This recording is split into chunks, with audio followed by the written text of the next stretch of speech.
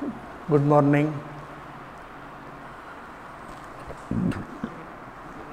Yesterday we have completed two articles from the chapter Relativity, Frame of Reference, and Postulates of Special Theory of Relativity. Uh, let me know whether I am clearly audible to you. Visibility of the board is also good. If you don't find this clarity, please let me know. Please write to me on your group because the audio clarity and video clarity is very important. If this is good in all the video lectures, you may get the things clearly. You can understood the things. And therefore, please let me know this. Next article from relativity is Galilean transformation.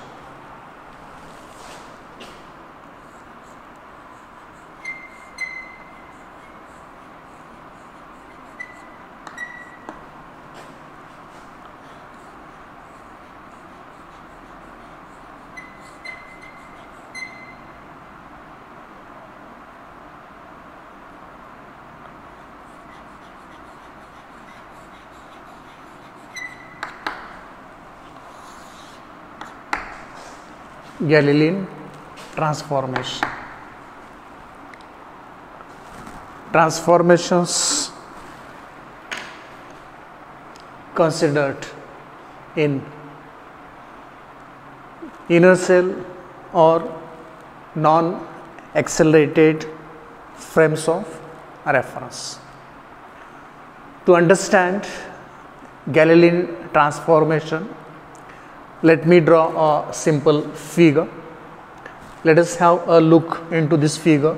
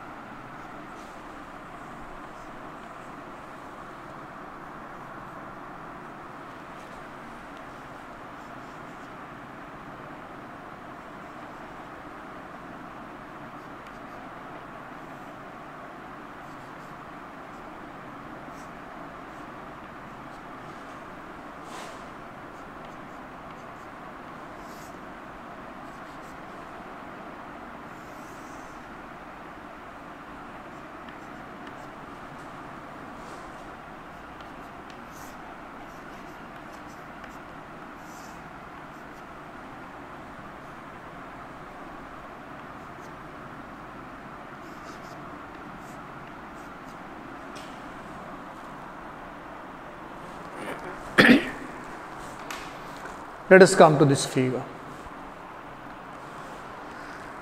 This is frame of reference represented by coordinate axis x, y, z with origin O.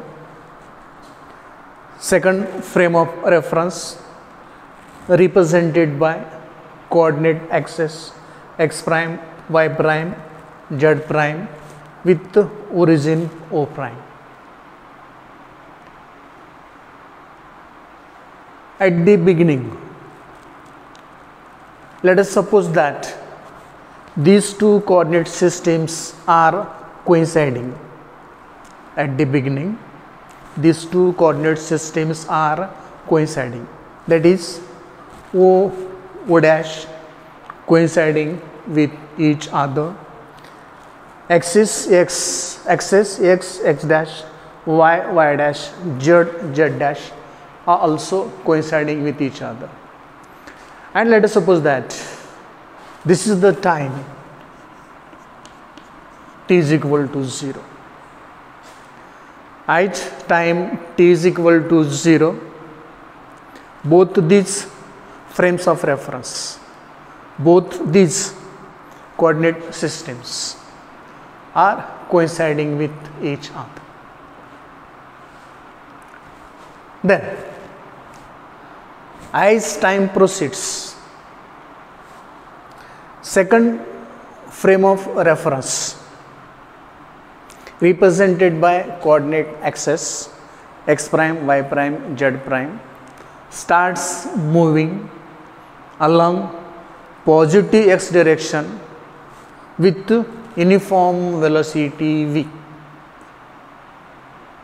At t is equal to 0 both the systems both the coordinate systems both the frames of reference coinciding on each other. Okay. And at t is equal to 0 the second coordinate system started moving with uniform velocity v along the positive x direction.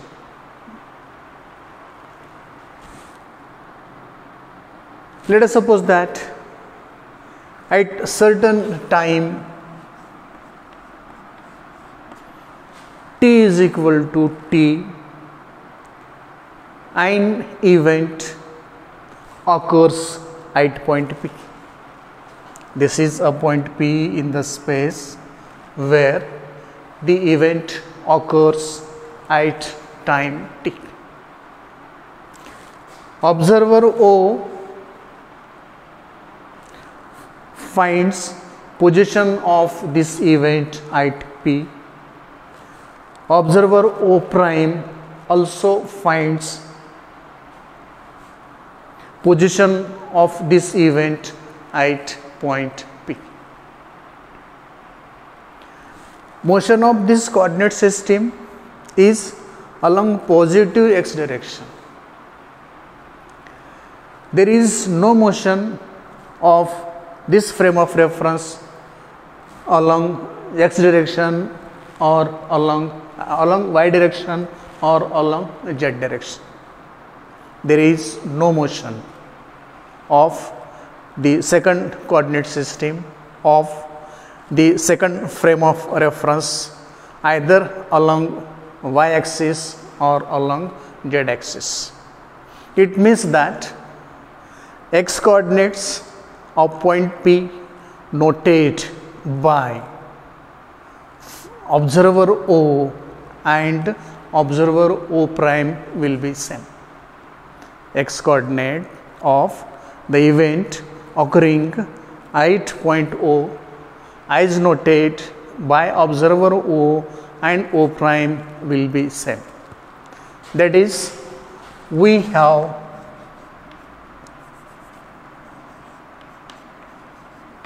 y is equal to y prime. Similarly, as there is no motion of the second frame of reference along z direction. Z coordinates noted by observers o and o prime along z direction. For the event occurring at point p will also be same. And let these are this.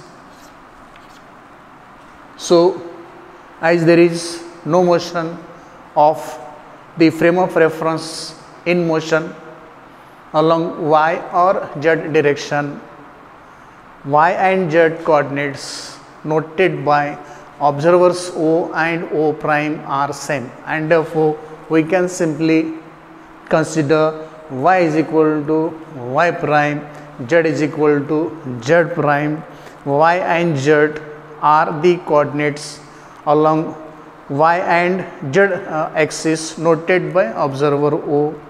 y prime and z prime are the y and z coordinates noted along y prime and z prime axis by the observer O prime.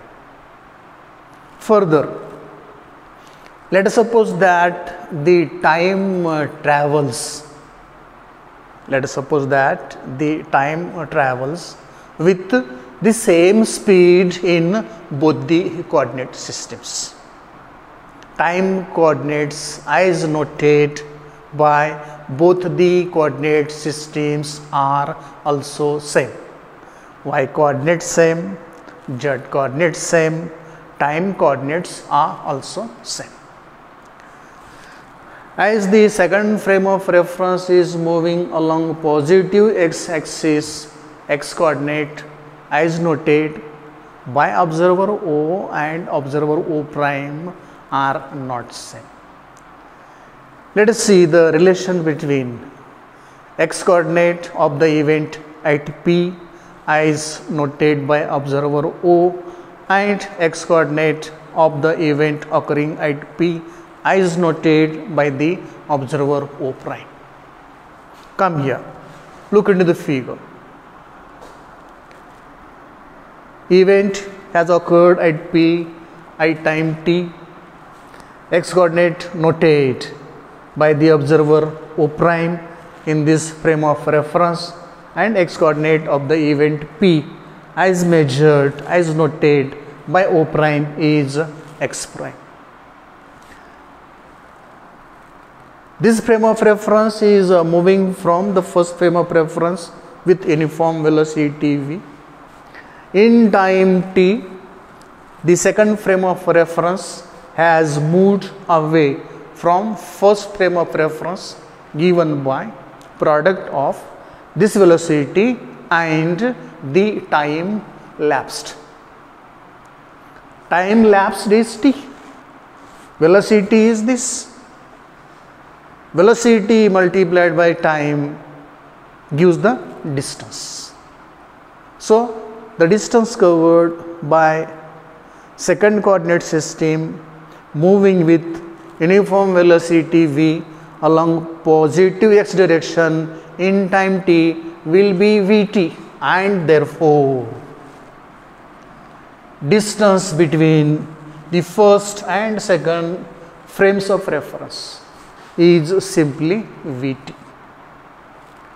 Distance covered by second frame of reference from first in time t moving with velocity v is vt.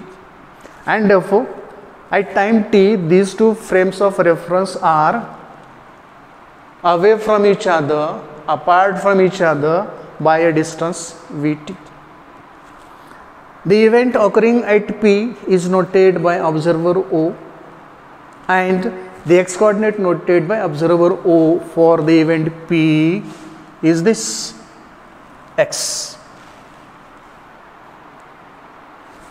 x coordinate of the event P noted by O prime is x prime. x coordinate of the event P as noted by O is x. x is equal to Vt plus x dash. If you want to find this x dash this x dash distance should be equal to distance x minus distance vt. And therefore I can write x prime is equal to x minus vt. Y prime is equal to y. Z prime is equal to z. Relation between the position coordinates of the event P is noted by observer O prime and observer O are these. X prime is equal to x minus vt y prime is equal to y z prime is equal to z. Equation number 1 equation number 2 equation number 3 equations 1 2 and 3 are known as Galilean transformation equations equations 1 2 and 3 are known as Galilean transformation equations. Why these equations are occurring? These equations of transformations are occurring because this frame of reference is moving with uniform velocity v from this frame of reference. I time t is equal to 0 along the positive x direction. Because of which if any event is occurring in the space the coordinates notate position coordinates notate for that event by these two observers will always be given by these equations 1 2 and 3 and these three equations are known as Galilean transformation equations these three equations are known as Galilean transformation equations. We can also write inverse Galilean transformation equations. Now we do not need this figure. So let me wipe out this figure so that we can go for inverse Galilean transformations. These are known as Galilean transformations for the coordinates. And now inverse uh, Galilean transformations.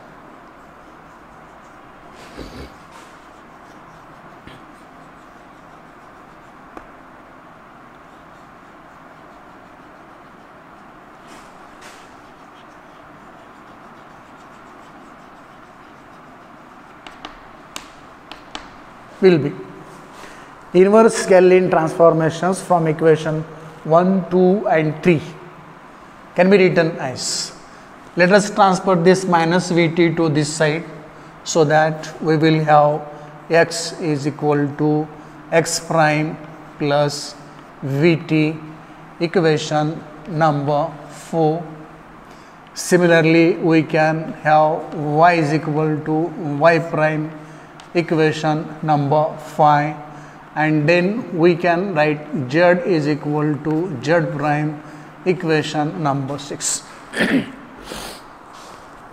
equations 1 2 3 are known as galilean transformations. The equations which are obtained from 1 2 3 4 5 6 equations 4 5 6 are obtained from equations 1, 2 and 3. These equations 4, 5, 6 are known as uh, inverse uh, Galilean transformation equations. Equations 1, 2, 3 are known as Galilean transformation equations and equations 4, 5, 6 are known as inverse Galilean transformation equations. What is difference between these two? What we see here? The coordinates of the frame of reference moving with uniform velocity are expressed in terms of coordinates of the frame of reference at rest.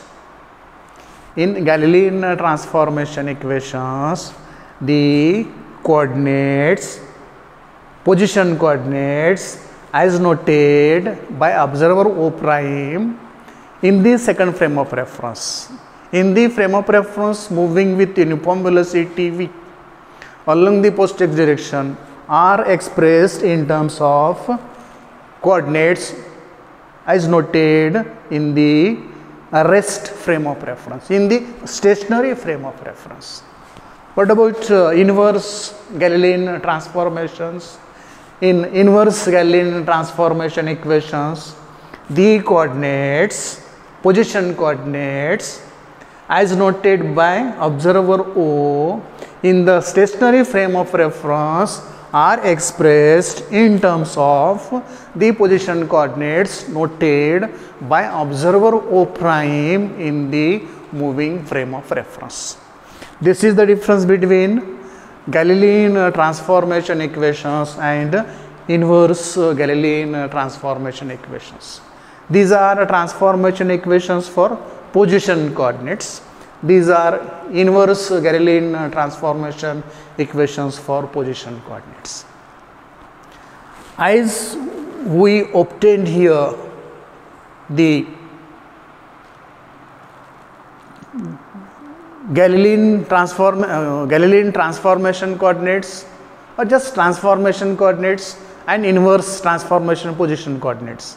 We can also go for the velocity transformation equations. Velocity transformation equations, Galilean transformation equations for velocity coordinates and inverse Galilean transformation equations for the velocity coordinates again. To get Galilean uh, transformation equations for velocity coordinates, let us differentiate equation 1 to get with respect to time t to get dx prime by dt is equal to dx by dt minus v. dy prime by dt is equal to dy by dt. And this is dz prime by dt is equal to dz by dt. dx prime by dt is the velocity. Let me call this velocity as u prime this velocity as u this velocity as and just me put this as it is. So that the velocity transformation equations may be written as u dash is equal to u minus v equation number 7 these are remaining same so let me write them as it is without any other notations.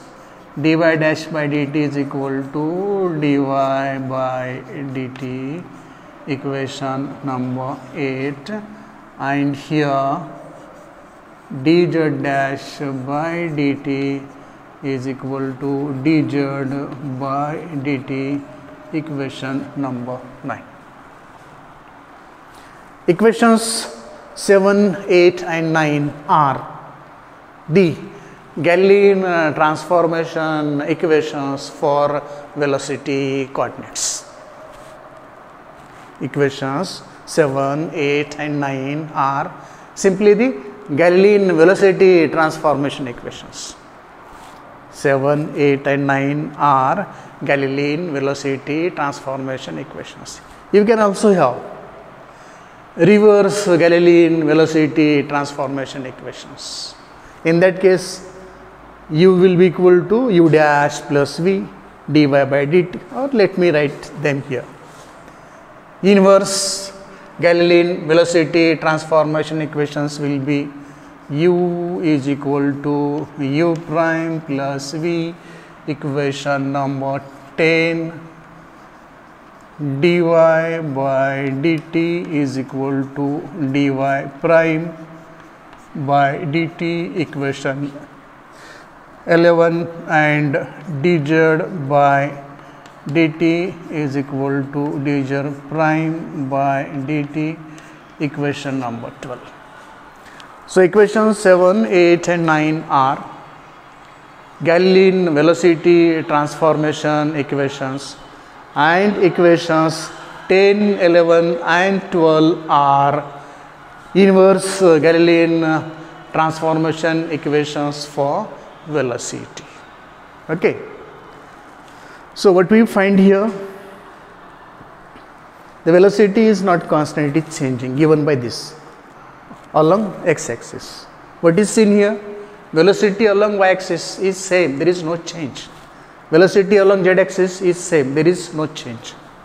Because there is no motion along y axis, there is no motion along z axis. Motion is only along x axis. Therefore, we find change in velocity along x axis only. The same thing is here for inverse Galilean transformation equations. There is velocity change along x axis. There is no velocity change along y axis. There is no velocity change along z axis. So, these are Galilean velocity transformation equations and these are inverse uh, Galilean velocity transformation equations. After having known the velocity relations for the velocity coordinates along x axis, y axis and z axis, let us try to have the idea about acceleration. Let us try to have the idea about acceleration. If you find acceleration here, let us come to equation number 7.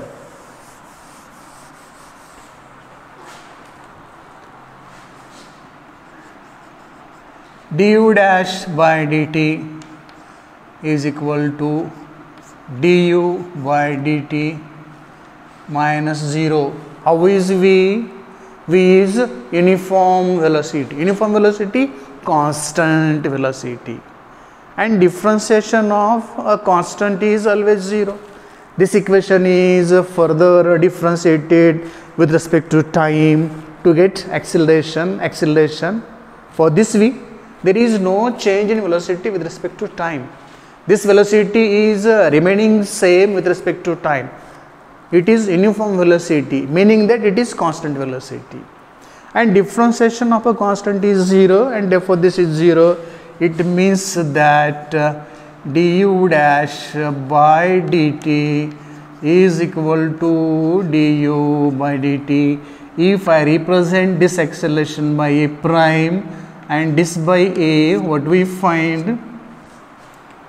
The acceleration is same if acceleration is observed by observer O in the first frame of reference if acceleration is observed by observer O prime in the second frame of reference both accelerations are coming same why both accelerations are coming same because the two frames of reference considered are inertial frames of reference. Inertial frames of reference are non-accelerated frame of reference.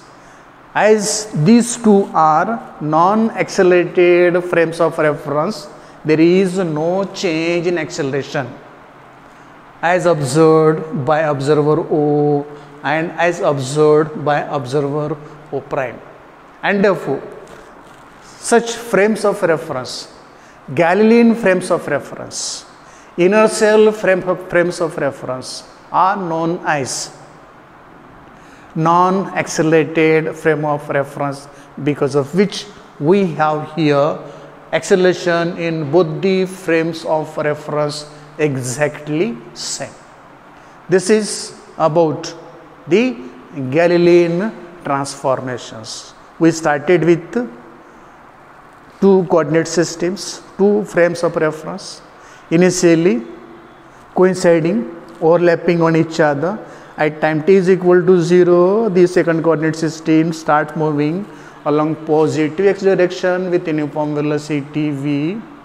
Some event has occurred in the space. That event noted, position of that event noted by both the observers.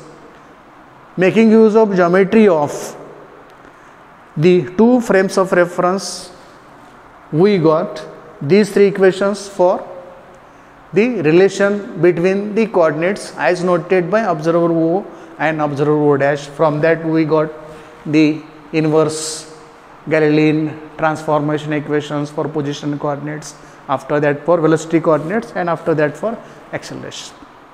Hope you got it. It's so simple. This is about Galilean transformations. Thank you.